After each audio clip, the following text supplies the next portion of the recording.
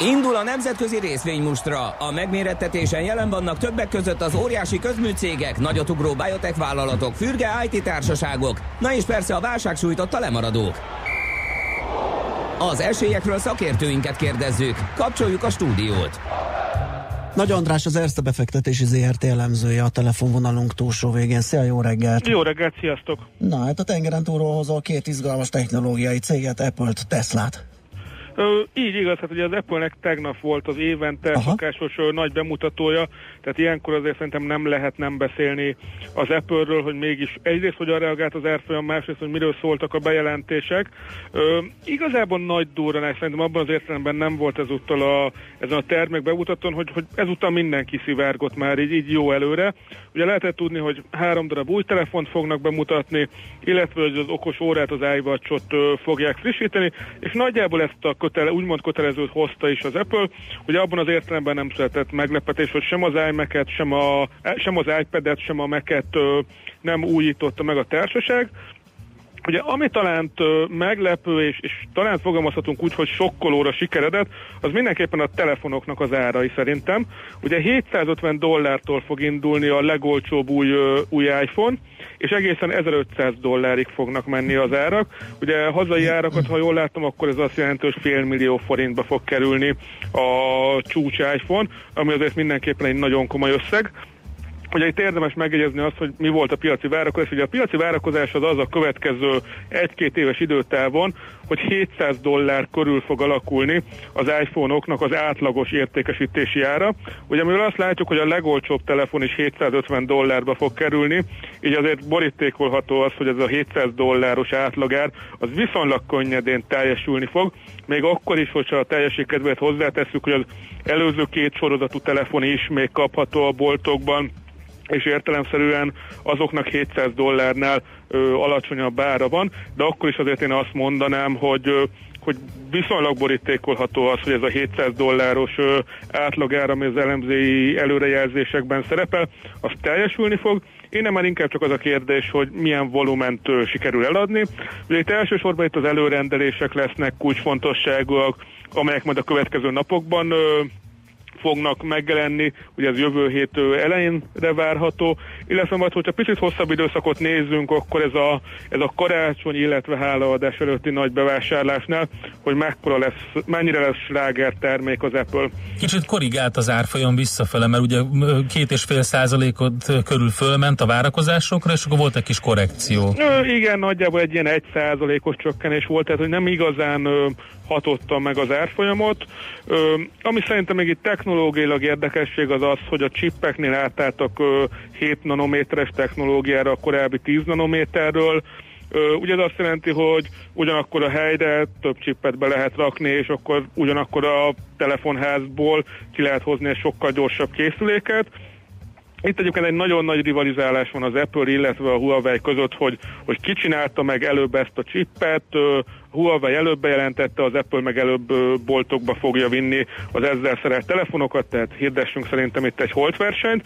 Illetve ami még árazás tekintetében érdekes, az az, hogy hogyha ezt a XS Max névre keresztelt telefont nézzük, akkor attól függően, hogy mekkora memóriával, vagy mekkora háttértárral veszük ezt a telefont, 1100 és 1500 dollár között közötti árat látunk, tehát gyakorlatilag ott 400 dollárba kerül az, hogy 512 gigabájtos háttértárral is rendelhető a telefon. Ugye ezeknél a készülékeknél, amikor ilyen nagyon nagy háttértárakról beszélünk, akkor ott mindig sokkal nagyobb a gyártónak a profit marzsa.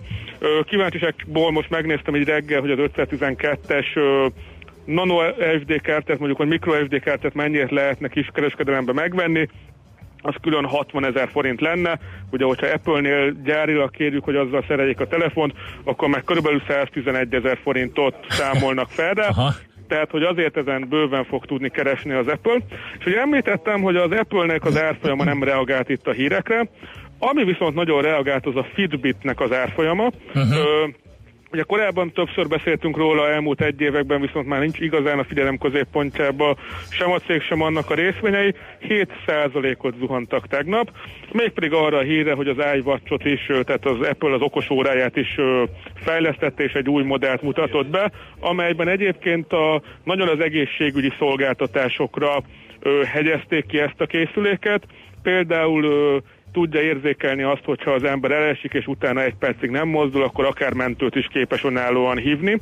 A telefon, illetve ez az első ilyen viselhető okos eszköz, ami akár egy LKG-t is képes magától elvégezni, és éppen ezért azt várják, hogy a biztosító társaságok nagyon örülni fognak ennek a készüléknek, hiszen sokkal gyorsabban képes akár egy vészhelyzetben egy orvost hívni, vagy mentőt hívni, és ezen keresztül az ilyen nagyon súlyos, kimenetelű szövődményektől képes lehet a felhasználókat megvédeni, tehát van egy ilyen vonala is, hogy, hogy akár a biztosító társaságok is tudnak majd ebből profitálni.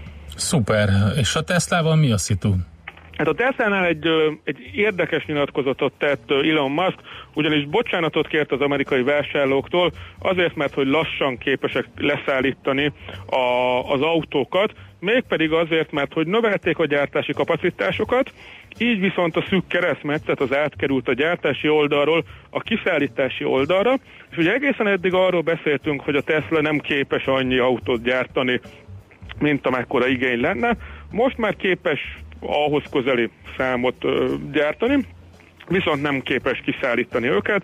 Ugye ebben az a félig meddig pozitívum, hogy, hogy azért a kiszállítási kapacitásokat sokkal könnyebb növelni, mint magát a gyártási kapacitásokat. Ö, tehát, hogy valószínűleg ez egy ilyen rövid ö, probléma lesz, viszonylag gyorsan meg fogják tudni oldani, azért néhány új kamiont beszerezni, így sarkalatosan fogalmazva, azért az nem egy akkora ördöngőség, még akkor sem, hogyha azt láttuk például a tegnapi amerikai jegybanknak, a Fednek a, a Bés könyvéből, ami ugye ilyen vállalatvezetőket kérdeznek meg, hogy ők hogyan ítélik meg a gazdaság helyzetét, hogy alapvetően munkaerőhiány és azon belül is sofőrhiány van Amerikában, és egyébként nagyon hasonlóakat látunk Európán belül is, de szerintem ezzel együtt is hogy ezt a problémát könnyen meg fogja tudni oldani a Tesla, és ennek megfelelően árfolyam reakció az nem is igazán volt rá. Egyrészt zárást követően jelent meg a hír valamikor az éjszakai órákban, igazából a Elon Musk ismételten a Twitterre tett ki egy ilyen uh-huh. üzenetet, ugye nála is nagyon népszerű lett ez a platform, nem csak Trumpnál, de az zárás utáni kereskedésben sem mutatott a Tesla igazából árfolyam reakciót erre. Okay, Nézd, egy darabig, darabig együtt dolgoztak, amíg ott nem hagyta fakképnél Trumpot, Elon Muskot, hogy valahol valami közös metszette vala dolognak. Igen. Oké, okay, András, köszönjük szépen, jó munkát, egy szép napot! További szép napot kívánok, sziasztok! Nagy Andrással az Erste befektetési ZRT elemzőjével beszélgettünk az Apple-ről és a Tesla-ról.